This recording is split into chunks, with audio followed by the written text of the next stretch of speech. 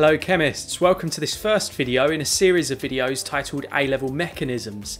Now today we're going to be talking all about nucleophilic substitution and if you want to get straight on it do just skip forward a little bit in this video.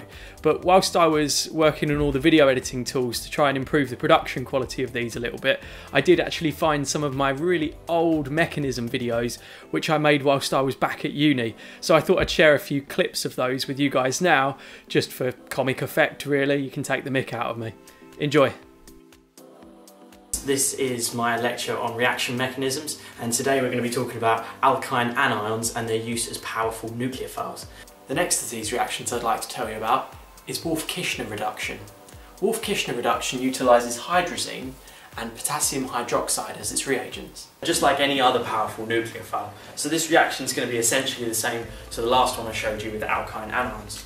If we have this molecule here, with a carbonyl functional group there, we can see, sorry let me draw that line again, we can see that this carbon here will be slightly positive due to the fact that the carbonyl oxygen is attracting the electrons in this double bond. On a second viewing, I've actually realised there's not much that's changed apart from that awful haircut that I did myself.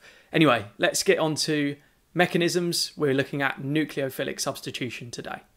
Okay, so in this first reaction, we're going to change a halogenoalkane into an alcohol via nucleophilic substitution. I've drawn a little reaction scheme here. You can see we've changed from a halogenoalkane now to an alcohol.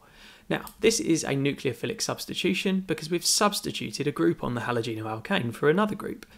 And the reagents and conditions are as follows.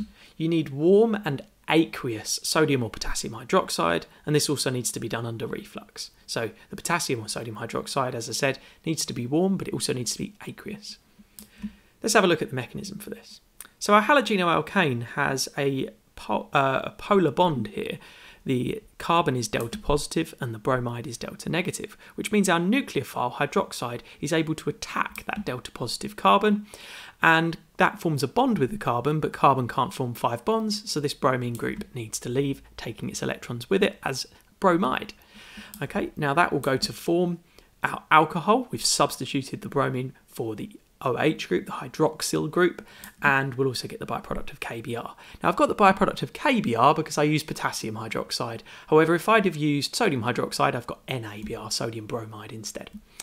Okay, let's have a look at our next one then. So in this time we want to change a halogenoalkane into a nitrile. Okay, so I've done my reaction scheme here. As you can see, we've got a halogenoalkane, and now we've got a nitrile because it's got this C triple bond N. Again, this is a nucleophilic substitution reaction because we're substituting one group for another using a nucleophile, and our reagents and conditions are as follows.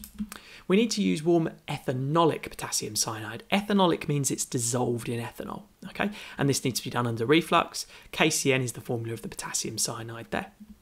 Okay, so let's have a look at our mechanism. This time we've got the nitrile nucleophile, okay, or sorry, the cyanide nucleophile, and we've got a delta positive carbon, delta negative bromine, and therefore our nucleophile is going to be attracted to that delta positive carbon, forming a bond with it. We're going to have to break this bond here, and therefore we'll have substituted that bromide for the nitrile group.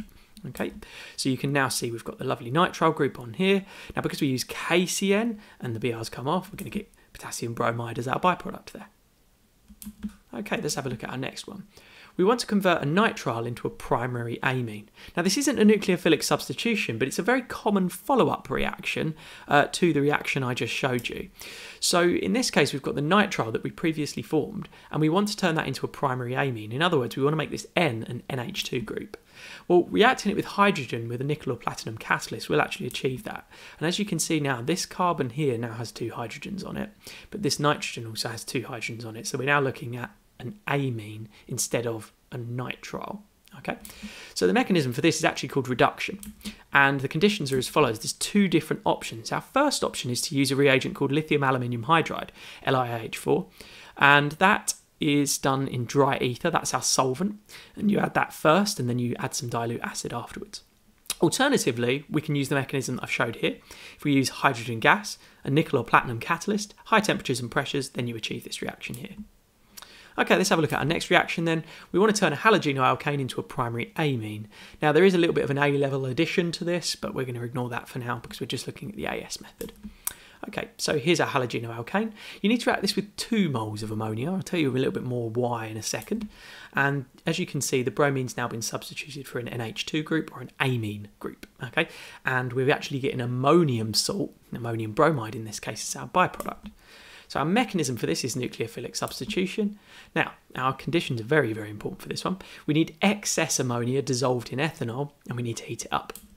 So let's have a look at our mechanism. Again, this carbon's delta positive, that bromine, bromine's delta negative. So our nucleophile, ammonia is acting as a nucleophile in this first step, is going to attack that carbon. And then we're going to break the carbon-bromine bond here.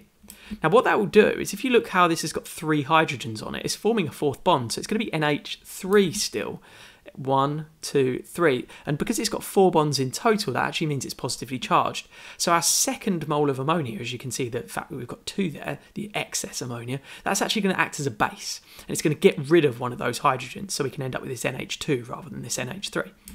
So it's going to do that, okay, deprotonate we call that, and then that hydrogen is going to give its electrons back to the nitrogen, getting rid of that charge. Okay, so therefore we get our primary amine product, but then because this one's grabbed a hydrogen, that becomes NH4, and then it's going to pair up with that bromine from earlier, so we're going to get ammonium bro bromide as our byproduct there. Okay, well thanks very much for watching this video. In the next video we're going to be looking at electrophilic addition reactions, again from the AS spec, so I hope you'll join me for that one. Thanks very much. Goodbye.